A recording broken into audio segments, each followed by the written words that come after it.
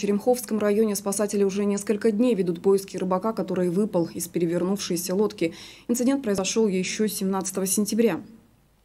66-летний иркутянин вместе с другим э, рыбаком рыбачил с лодки на реке Урик. В тот момент, когда они проходили один из порогов реки, плавсредство опрокинулось. Один из рыбаков смог самостоятельно добраться до берега, а вот второго уже несколько дней ищут спасатели. Они также призывают жителей Иркутской области быть осторожнее на водоемах. Осенью выходить на воду особенно рискованно из-за резкой смены погоды и высоких волн. Если оказаться в воде, можно получить переохлаждение, быстро выбиться из сил и утонуть. Также сотрудники МЧС просят внимательно осматривать судно перед отплытием.